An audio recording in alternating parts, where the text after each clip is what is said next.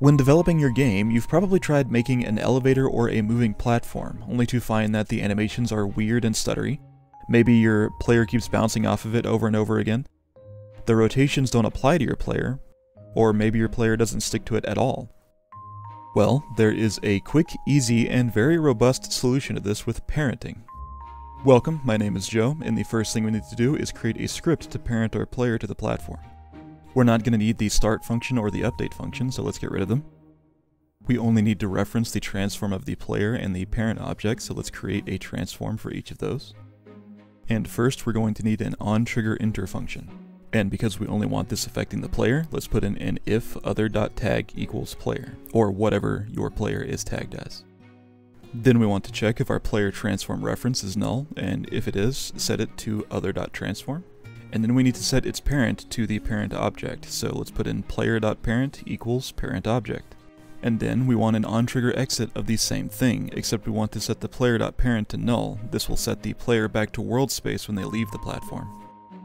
Now let's add a box collider to our platform and set it to trigger and have it fill up the area that we want the player to stick to the platform. And then let's attach our script and set the reference of the parent object to the platform.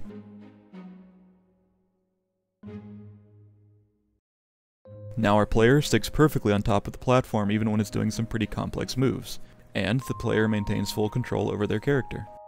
This also isn't just limited to platforms, it works on anything that is moving and you want to stick the player to it, like a boat or a car or a plane.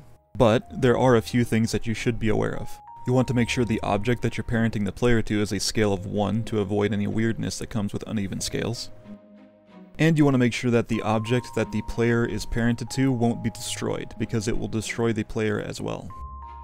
This can be worked around by creating a new function that checks if the player reference is there, and see if the player's parent is this object, and then if it is, kick him out and then destroy the object. And now the player character is safe.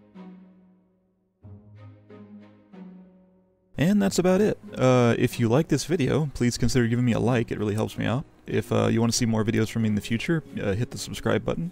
Uh, if you have any questions, just leave me a comment, I'll try and answer them. And I will see you in the next video. Later.